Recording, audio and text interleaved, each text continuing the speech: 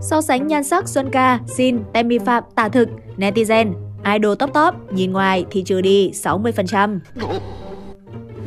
Thích lướt top top lại mê nhảy đu chen thì à, không ai là không biết đến Xuân Ca, Jin và Temi Phạm. Cả ba cô nàng đều có những clip tạo trend và bắt trend viral khắp nơi.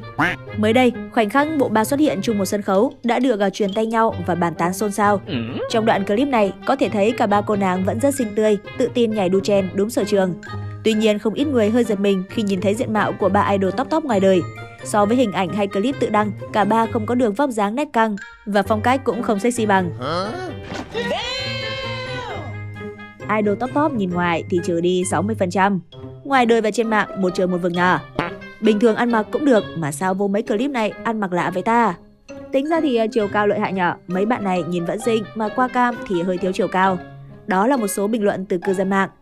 Ngoài ra cũng có nhiều dân mạng đồng cảm với ba nữ tiktoker, cho rằng clip quay từ phía dưới lên sân khấu không được căn chỉnh góc cẩn thận, cộng thêm ánh sáng cũng không được tốt thì ở việc để lộ khuyết điểm Âu cũng là dễ hiểu.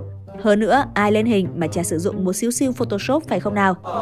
Được biết, cả ba cô nàng đều nhờ cậy dao kéo để có vẻ ngoài như mong muốn. Cách đây không lâu, hình ảnh xin cũng có can thiệp dao kéo được chia sẻ trên mạng xã hội và gây sự chú ý. Vào năm 2022, cô nàng cũng công khai sửa mũi hết 150 triệu đồng. Về phần Xuân Ca và Themi, hai cô nàng cũng thoải mái tiết lộ chuyện chỉnh sửa nhan sắc.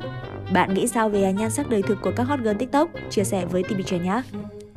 Cảm ơn các bạn đã đồng hành cùng TP Trends, like, share và subscribe để cùng chúng mình cập nhật những xu hướng mới nhất và những tin tức nóng hổi nhất.